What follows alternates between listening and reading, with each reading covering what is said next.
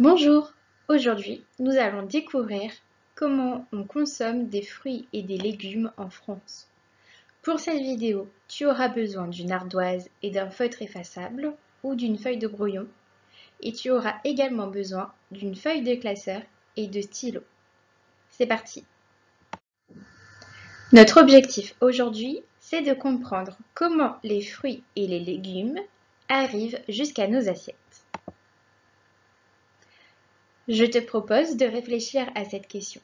D'où viennent les fruits et les légumes que l'on consomme et de noter tes idées, ou bien sur ta feuille de classeur, ou bien sur ton brouillon ou ton ardoise. Si tu les notes sur ta feuille de classeur, écris la question, souligne-la et rédige proprement ta réponse. On va chercher ensemble d'où viennent nos fruits et nos légumes. Tu vas avoir un petit exercice à effectuer sur ton ardoise il va te falloir replacer des images dans l'ordre. La barre en bas de l'écran va t'indiquer quand le temps sera écoulé. Replace les étapes dans le bon ordre.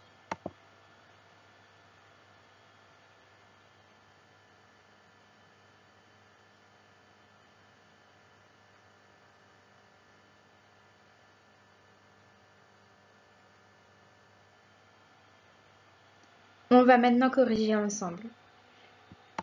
Les fruits sont cultivés par les producteurs dans des vergers et les légumes sont cultivés, eux, dans des potagers.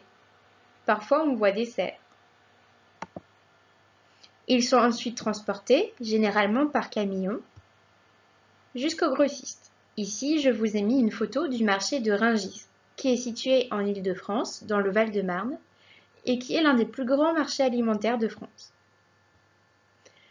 Les grossistes euh, vendent ensuite leurs produits aux marchands. Ici, j'ai mis une photo d'épicerie, mais on peut évidemment penser au marché ou au supermarché.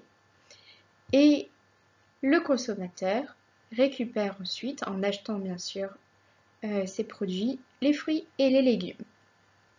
On observe donc ici le circuit de distribution des fruits et des légumes.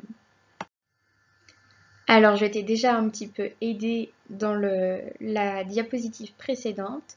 Je t'ai remis la photo du marché de Ringis et ici la définition d'un grossiste. C'est un marchand qui vend des produits à d'autres marchands qui vont, eux, les revendre en petite quantité. Ils vont donc les revendre aux consommateurs. On va maintenant observer une photographie ensemble. Je te propose de noter tes observations tes réponses aux questions sur ta feuille de brouillon ou sur ton ardoise. Qu'observes-tu sur cette photo? Comment ces fruits arrivent-ils jusque chez nous? Tu n'as pas besoin de rédiger des phrases. Tu peux mettre la vidéo en pause si le timer ne te suffit pas.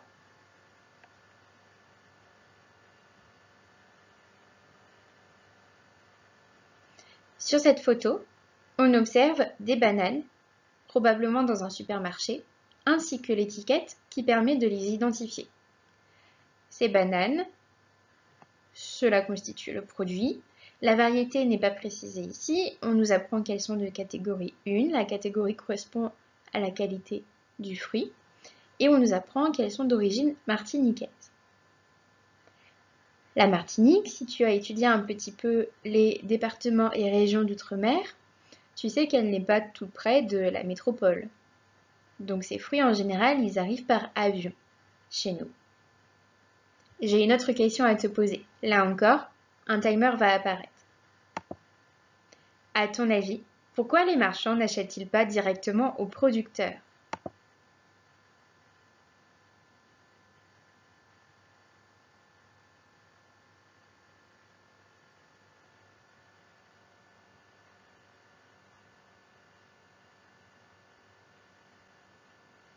Cette question est une déduction de la précédente. Les marchands n'achètent pas directement aux producteurs parce qu'ils devraient se déplacer. Et surtout, ils devraient euh, avoir plein de producteurs chez lesquels se déplacer, puisque un producteur va par exemple ne produire que des bananes ou des fruits exotiques, un autre euh, ne va produire euh, que des fruits rouges ou que des fruits ou que des légumes. Et ce serait beaucoup trop compliqué. C'est pourquoi ils passent par les grossistes. Je te propose maintenant un petit exercice que tu peux faire sur ardoise et qui découle du précédent. Nomme trois fruits ou légumes que l'on ne trouve pas, ou très peu, en France métropolitaine.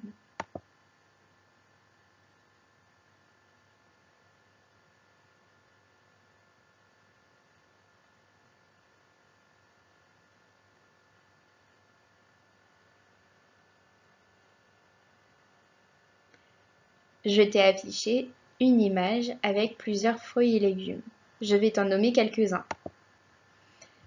Ici, on a l'ananas, l'avocat, les bananes, bien sûr, les caramboles,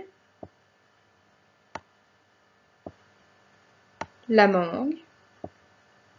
Tu excuseras euh, mon imprécision euh, du stylo sur l'écran, la noix de coco, les litchis, le fruit du dragon, et je t'avoue que je ne connais pas l'ensemble des fruits. Poursuivons nos recherches. Dans les supermarchés, on trouve souvent des fraises d'Espagne. Pourtant, les agriculteurs français cultivent des fraises. Alors à ton avis, pourquoi importe-t-on des fruits d'ailleurs si l'on en cultive en France? Je te laisse répondre sur ton ardoise.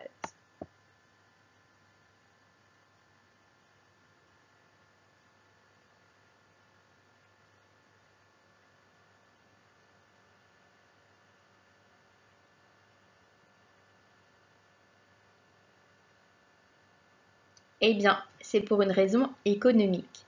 C'est souvent moins cher d'importer certains fruits, comme les fraises, d'autres pays. Par contre, cela pose certains problèmes. Quels problèmes cela pose-t-il? Je te laisse à nouveau un petit peu de temps pour y répondre sur ton ardoise.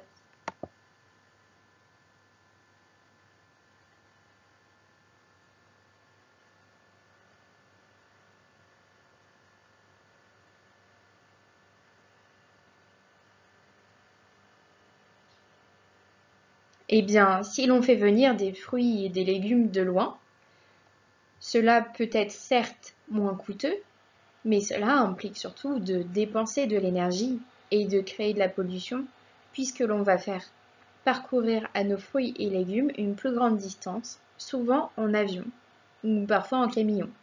Mais dans tous les cas, on va polluer en utilisant ces moyens de transport. Nous allons maintenant écrire la leçon.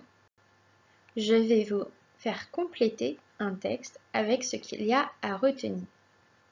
Je te propose de mettre la vidéo en pause quand le texte sera complété et de le copier proprement sur ta feuille de classeur. Les fruits que nous mangeons suivent le circuit de distribution suivant. Producteur, transport, hum, hum, hum, magasin, consommateur. As-tu trouvé ce qu'il faut écrire entre transport et magasin? C'est le grossiste, bien sûr. Les fruits que nous achetons proviennent parfois de France ou de l'étranger. Quand ils proviennent de l'étranger, c'est parce qu'ils ne sont pas hum, hum, hum, en France ou parce qu'ils sont moins ailleurs. Alors, c'est parce qu'ils ne sont pas cultivés en France ou parce qu'ils sont moins, moins chers ailleurs. Cela pose des problèmes parce qu'il faut les transporter en avion. On dépense alors de et on crée de la alors je vous l'ai dit tout à l'heure, on dépense de l'énergie et on crée de la de la pollution. J'espère que cette vidéo t'aura aidé à mieux comprendre d'où viennent les fruits et légumes de, que l'on mange.